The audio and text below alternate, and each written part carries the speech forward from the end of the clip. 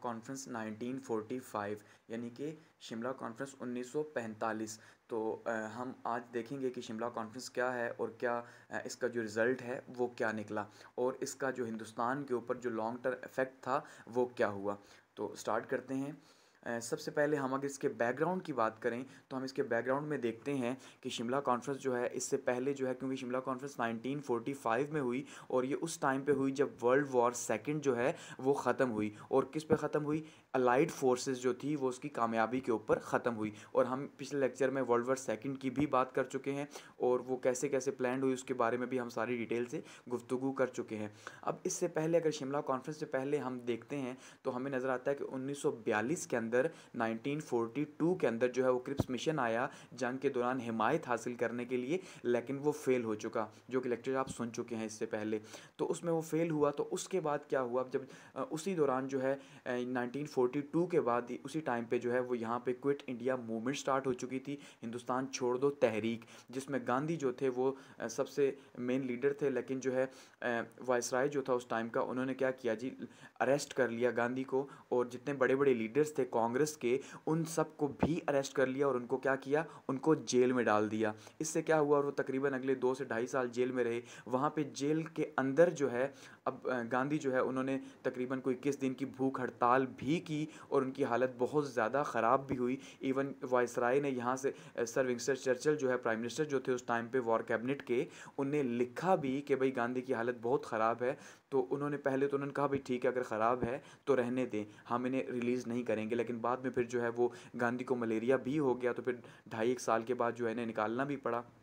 لیکن یہاں پہ یہ بھی کہا جاتا ہے کہ گاندھی کو جو ہے وہ نکالا اسی لیے گیا تاکہ ہندوستان کے حالات کے اوپر جو ہے ان سے بات چیت کی جا سکے اور خاص کر کے یہ جو شملہ کانفرنس ہے اس کے اوپر بات کی جا سکے۔ تو یہ شملہ کانفرنس جو ہے اگر اس کی بات کریں تو یہ ہندوستان کا کوئی مستقل حل چاہیے تھا۔ تو لارڈ ویول جو تھے، جو اس ٹائم پہ جو ہے وہ وائس رائے تھے ہندوستان کے، تو وہ اس کا کوئی حل چاہتے تھے۔ انہوں نے دو سے تین مختلف طرح کے جو سلوشنس تھے، وہ برٹش گورنمنٹ کو بتائے تھے کہ وہ اس طرح سے چاہ رہے ہیں کہ ہندوستان کے اندر کوئی اس طرح کا جو ہے نا انتظام لے کے آیا جائے۔ لیکن برٹش گورنمنٹ نے اسے اپروو نہیں کیا۔ اس کے بعد جو ہے لارڈ ویول نے ایک فائنل پلان دیا برٹش گورنمنٹ کو کہ بھئی انتظامی کونسل جو ہے ایگزیکٹو کونسل جو ہے، اس کو دوبارہ سے بحال کیا جائے اور اس میں مسلمانوں اور ہندوؤں کو اور تمام کلاسز جتنے بھی سیکٹ ہیں ہندوستان کے اندر، ان سب کے سب کو جو ہے وہ شامل کیا جائے اس کے اندر، تاکہ ہندوستان جو ہے اس کے اندر جو اتنے حالات خراب ہوئے ہیں، خاص کر کے پچھلے دو سے تین سال سے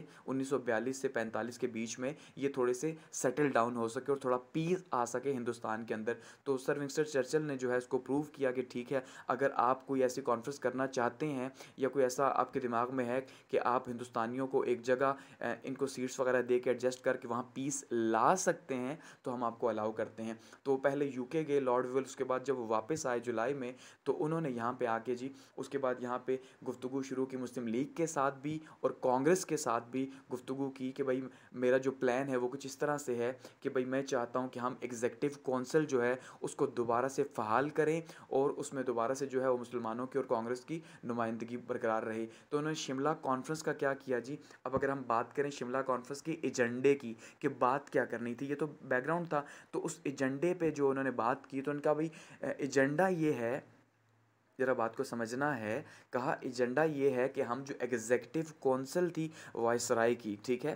وائس رائے کی ایگزیکٹو کونسل یعنی جو پورے ہندوستان کا اختیار تھا جس کے پاس اور جو ہندوستان کو رن کر رہی تھی، اس کے ممبرس کی تعداد بڑھائیں گے اور اس میں مسلم لیگ اور کانگریس کو ایکول ریپرزنٹیشن دیں گے، جو کہ بعد میں ایون چینج ہو گیا کہ چھ مسلم لیگ کے ممبرس کانگریس کے کر دیے گئے اور پانچ مسلم لیگ کے کر دیے گئے اور تین جو ممبرس تھے وہ مائنورٹیز کے یا اقلیتوں کے کر دیے گئے۔ حالانکہ اسٹارٹ میں کہا تھا ایکول ریپرزنٹیشن ہوگی۔ ویسے ہی کہا کہ وہ جو ہے ان کو بلایا جائے گا اور وہ اپنی مرضی سے جو ہے اپنے نمائندے طے کریں گے اور ان کو سارے کا سارا اختیار بھی دیا جائے گا۔ ایون اگر یہ کامیاب ہوئی تو یہی کام پروونشل لیول کے اوپر بھی کیا جائے گا۔ اور صرف جو ہے ایک وائس رائے اور ایک جو آرمی چیف ہے، جو آرم فورسز کا چیف ہوگا، وہ برٹشرز ہوگا۔ باقی جتنے بھی ہیں، وہ سارے کے سارے انڈیا سے وہ ممبرز لیے جائیں گے۔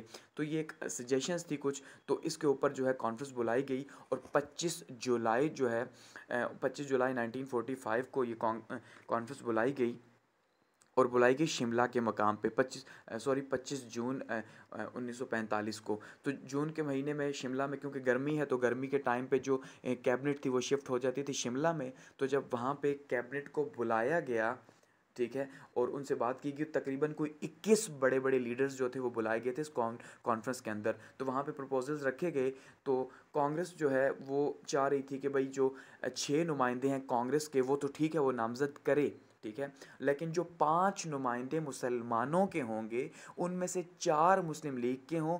ایک جو ہے غیر مسلم لیگی ہو۔ اور یہ بات انہوں نے جو ہے وہ وائسرائے کو کہی تو وائسرائے نے قائد اعظم سے یہی بات کی کہ بھئی آپ کے چار نمائندے جو ہیں وہ تو مسلم لیگ کے ہوں گے، لیکن جو ایک نمائندہ ہوگا مسلمانوں کا وہ غیر مسلم لیگی مسلمان ہوگا۔ اور اس بات پہ ان کو سپورٹ کر رہے تھے خضر حیات ٹوانا صاحب۔ وہ بھی مسلمانوں کی پارٹی کے تھے، یونس پارٹی کے، جن کی اپنی پنجاب کے اندر ایک بڑی پارٹی تھی۔ تو انہوں نے بھی اپنی ایک سیٹ کے لیے جو ہے وہ کانگریس کا ساتھ دیا۔ لیکن قائد اعظم اس بات کو کو نہیں مانے۔ اس پہ بہت زیادہ کنورسیشنز ہوتی رہیں۔ وائسرائے لارڈ ویول نے بہت کوشش کی کہ کسی طرح ان کو ایگری کیا جا سکے کہ آپ چار سیٹس رکھیں اور ایک جو سیٹ ہے وہ نان مسلم ہو۔ لیکن قائد اعظم نے قائد اعظم نے کہا ایسا نہیں ہو سکتا۔ ان کا اس لیے ایسا نہیں ہو سکتا کیونکہ ہمارا یہ ماننا ہے کہ ہندوستان کے اندر اگر مسلمانوں کی کوئی واحد نمائندہ جماعت ہے تو وہ مسلم لیگ ہے۔